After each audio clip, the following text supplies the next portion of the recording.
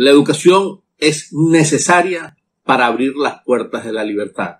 Por eso, cuando salgamos de esta tiranía, es importantísimo invertir no solamente recursos económicos, sino talento en la educación, replantearse el modelo educativo venezolano, estudiar hasta qué punto puede llegar la gratuidad de la educación, si es solamente a nivel inicial, primario, secundario, o debe tener algún costo la educación universitaria. Ustedes preguntarán, ¿y el que no tenga recursos económicos, cómo, lo, cómo puede costear, cómo puede ingresar a la universidad? Para eso existen las becas estudiantiles, su rendimiento académico. Desde luego, una vez finalizados sus estudios, debe pagarle al Estado lo que el Estado invirtió en su educación. Así se pueden lograr mejores salarios, mejores infraestructuras, mejores laboratorios. Yo creo que el tema de la educación es uno de los vitales para el progreso del país.